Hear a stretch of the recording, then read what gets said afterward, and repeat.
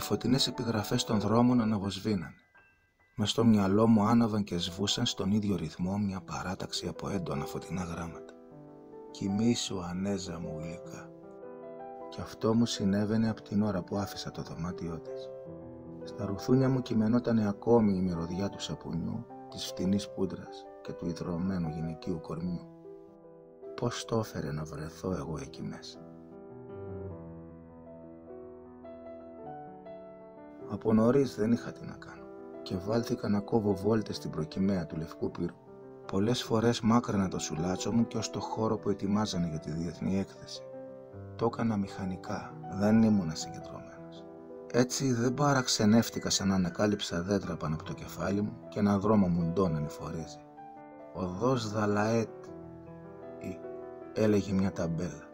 Δαλαέτ ή το τάφ μου φάνηκε πως δίσταζε να μείνει μόνο του και αφανιζόμουν να βρω γιατί να τσιγκουνευτεί τόσο ο επιγραφοποιός και να μην έβαζε άλλο ένα.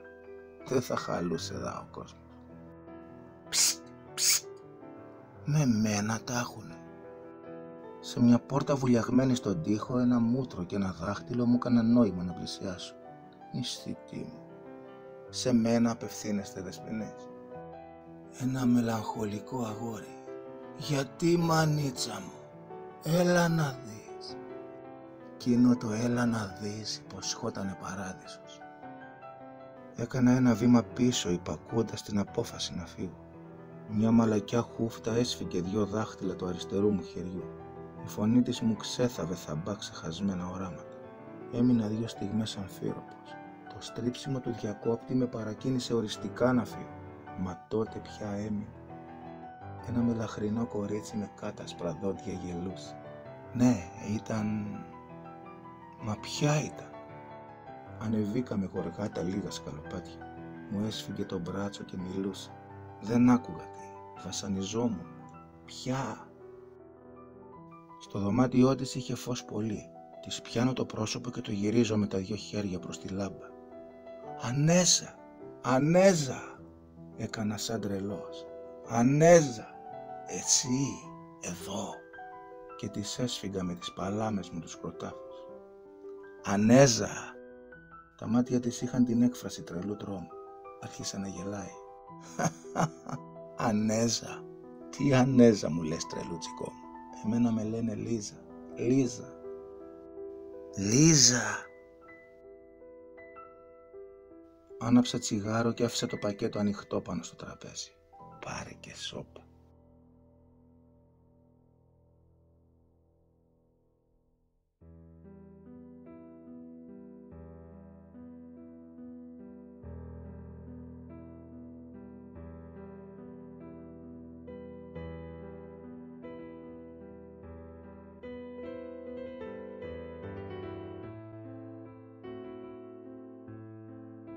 Στα 11 μου χρόνια έτυχε να πιάσει μαζί μου φιλίες σε ένα μελαχρινό αγόρι με ναυτικά. Αυτός πήγαινε στη Δευτέρα του γυμνασίου. Κάποτε μου χάρισε και κάτι παιχνίδια. Ήταν πλουσιόπεδο. Τα Σάββατα ρημάζαμε μαζί τις ξένες τζιτζιφιές. Είχε και μια αδελφούλα πολύ μελαχρινή και πολύ γλυκιά που μας εφοδίαζε με ψωμί και μας βοηθούσε να το σκάμε. Τη λέγανε Ανέζα και ήταν νεοσύλλεκτη στη συμμορία αλλά κάποτε χειμώνιασε και τα περιβόλια δεν είχαν πια φρούτα. Τότε μαζευόμαστε σπίτι του και παίζαμε κότσα. Κάναμε και πρόβες για τα κάλα. Η Ανέζα μας βοηθούσε με μια μαλακή λεπτή φωνήτσα. Ένα Σάββατο που ήταν καλοσύνη πήγαμε και κόψαμε κάτι μαγκούρες από ελιές με κόμπο κάτω. Ήταν απαραίτητο αυτό για να χτυπάμε δυνατά τις πόρτες. Αυτό άρχιζε από τη μια τα μεσάνυχτα. Όλος ο παιδόκοσμος χινόταν στους δρόμους χτυπούσαν ασυλλόγιστα, αλίπητα τις πόρτες και φωνάζανε μόση δύναμη είχαν.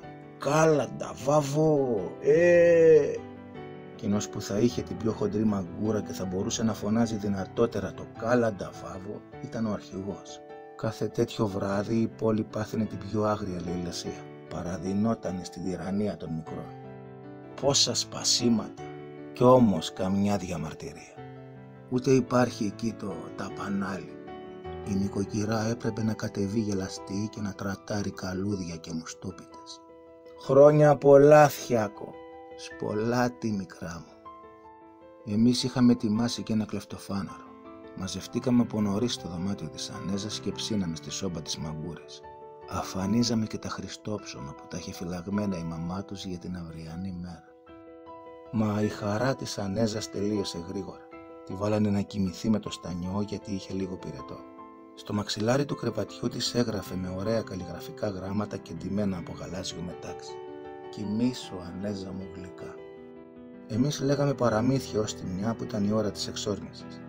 Η Ανέζα μας παρακάλεσε να πάμε κοντά στο κρεβάτι της για να άκουγε και αυτή τα παραμύθια. Και την έβλεπες να σκεπάζεται πάνω από το κεφάλι εκεί που οι δράκοι κλέβανε τα κορίτσια, ώσπου κοιμήθηκε σαν νυχτωμένο πουλάκι πάνω στο ανθισμένο κλονάρι του κεντυμένου της μαξιλαριού. Στη μια έγινε η εκστρατεία. Γυρίσαμε το πρωί με πράματα και θάματα. Η Ανέζα ήταν στο κρεβάτι της. Και η Λίζα ήταν στο κρεβάτι της και περίμενε να τελειώσω το τσιγάρο Πάρε τσιγάρο. Πήρα. Πάρε κι άλλο. Πάρε πολλά. Σηκώθηκα. Στράφηκα προς τον καθρέφτη του κομμού και φυσούσα. Ανάμεσα από το γυαλί του την είδα να κλέβει με προφύλαξη τσιγάρα. Πάρε, πάρε κι άλλα, είπα χωρίς να στραφώ. Πάρ τα όλα. Εγώ θα αγοράσω τώρα που θα κατεβαίνω. Εξάλλου δεν πολύ καπνίζω. Της τα είπα χωρίς να στραφώ και έβγαλα μια χούφτα ψηλά. Να, πάρε κι αυτά να αγοράσεις ό,τι θέλεις. Τι, θα φύγεις. Δεν θα πέσουμε. Δεν βαριέσαι. Και έκανα να βγω. Και τότε η χούφτα με τα κέρματα με βρήκε κατά κέφαλα. Βρε παλιό ψωριάρι, τι με πέρασες ρε, για ζητιάνα. Ούξο να χαθείς παλιό γλίτσι. Γύρισα και την κοίταξα. Δεν ξέρω πώς, μαζί με αυτήν και το μαξιλάρι της. Ήταν βρώμικο από φτηνό χασέ. Και το στενό λουλακί μαξιλάρι πέρασε από τα μάτια μου με την πάστρα του, με το κοριτσίστικο κεφάλι και με το κοιμί σου ανέζα μου γλυκά. Κατέβηκα στο δρόμο και τώρα καθώς βάδιζα όλες οι φωτεινές επιγραφές μου τόνιζαν επίμονα, αδυσόπιτα μια φράση, αυτή τη φράση του μαξιλαρίου.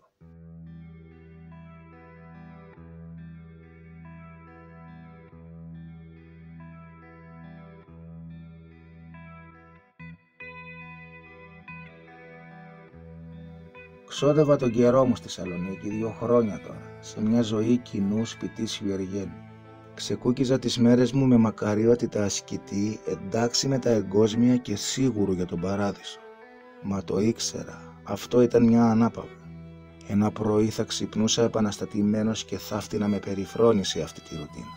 Η νοσταλγία για κάτι ζωντανό θα φούντωνε, θα κόχλαζε ένα πρωί μέσα μου και τότε αντίο θέση απλοϊκού νοικοκυρόπεδου. Περίμενα. Το φθινόπωρο που μας ήρθε στο περβάζι του διπλανού μου παραθυριού κοκκίνιζαν δύο χείλη. Η Σοφούλα, η νοικοκυροπούλα μου, τραγουδούσε για τα καλοκαίρια που μίσευα. Είπε ότι θα μου κεντούσε ένα μαντίλι. Όχι, ένα μαξιλάρι, είπα. Καλά, ένα μαξιλάρι. Έγραφε όνειρα γλυκά με κόκκινα γράμματα. Θυμήθηκα πάλι την Ανέζα που το είδα και πήγα το ίδιο βράδυ. Τι κάνεις σαν Λίζα, καλά, του λόγου σου, να μην με γνώρισε. Είχα βάλει στην τσέπη μου ένα μπουκάλι μαστίχα και ένα κουτί παστιτσάκι. Τα δέχτηκε και πήγαινα συχνά. Μια πέμπτη, 22 του Δεκέμβρη, κουβεντιάζαμε.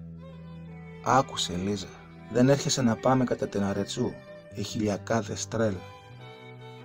Στάσου να ρωτήσω τη ματά δεν την άφησες σήμερα. Ήταν πέμπτη, το Σάββατο χωρίς άλλο. Σηκώθηκα να φύγω. Δεν θα έρθει μέσα. Είμαι βιαστικός. Το Σάββατο. Καλά, το Σάββατο, όπως θέλεις. Στο καλό.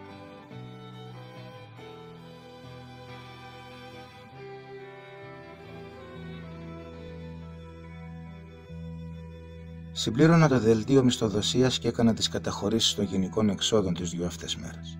Τη βαριέστηζα τη ζωή. Τα μεσημέρια που πήγαινα σπίτι, η Σοφούλα τραγουδούσε σιγότερα για να μην με ενοχλεί. Της είπα να κεντούσε πάνω στο ανοιχτό λουλακί μαξιλάρι που μου ετοίμαζε το κοιμή σου ανέζα μου γλυκά. Το προόριζα, της είπα, για χριστουγεννιάτικο δώρο. Πού, με ρώτησε, για ποιαν θα είναι; Της είπα αόριστα για ένα κορίτσι.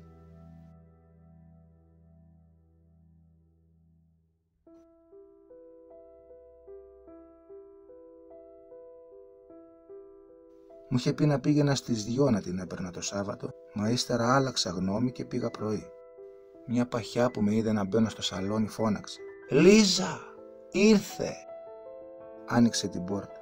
«Από τώρα». «Ναι, ντύσου». Μπήκαν κι άλλες στο σαλόνι. Τους πρόσφερα τσιγάρο και ρώτησα αν θέλανε να παράγγελνα καφέ. «Όχι, ευχαριστούμε. Πήραμε», έκανε η ίδια η παχιά. «Ξέρεις, η Λίζα παλαβώνει για σένα. Σε γνωρίζει από μικρό παιδί, λέει, από τον τόπο που πήγαινε σχολείο, ώστε με είχε γνωρίσει. Μπήκα να την επιθεωρήσω πριν φύγω. Με το μαντίλι μου της σκούπισα όλες τις πούτρες και τα κοκκινάδια. Θέλω να γίνει σανέζα, της είπα. Πήγαμε με αυτοκίνητο.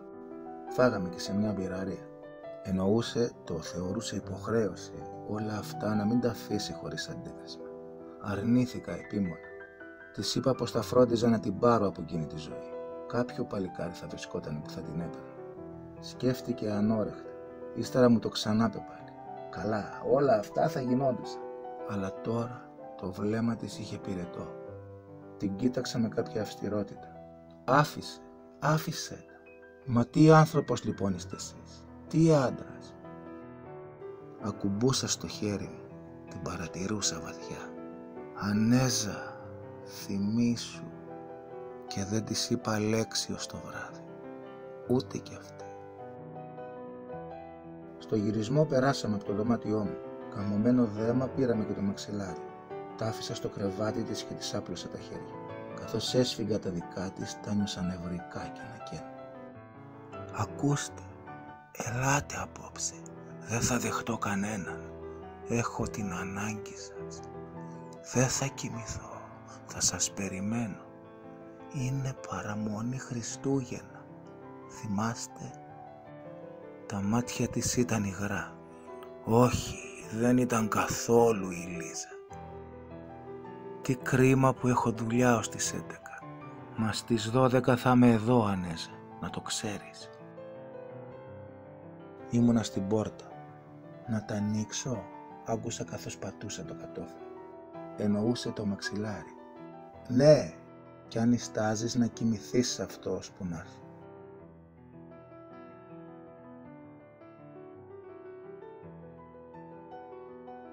Είχα να ετοιμάσω κάτι επίγοντα, να διορθώσω κάτι έγγραφα εκρεμή για να τα ταχυδρομήσω το πρωί. Μου φάγανε περισσότερη ώρα από όσοι υπολόγιζα. Έτσι δεν κατάφερα να είμαι παρά στη μια εκεί.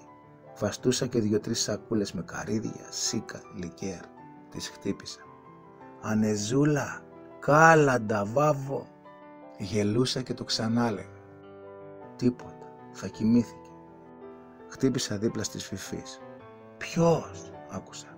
Εγώ, εγώ, πες μου, η Λίζα μήπως βγήκε. Όχι, κοιμάται. Είχε βγει βιαστική από νωρίτερα, μα γύρισε αμέσως. Είναι κλειδωμένη από μέσα. Να χαρείς, ξύπνατε.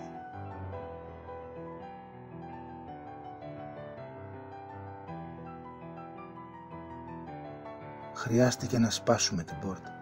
Ήταν ξαπλωμένη στο κρεβάτι. Τα φλεφαρά της κλειστά και η μορφή της όλη περιχυμένη με μια γαλήνη αγίας. Ήταν η Ανέζα Κυλισμένο στο πάτωμα κοκκίνιζε το μπουκαλάκι με το βερονάλ. Τα μαλλιά της μαύρα χύνονταν σαν κυματιστός φωτοστέφανο στο μαξιλάρι που της χάρισα. Κοιμόταν θαρή σε έναν ύπνο παιδούλας.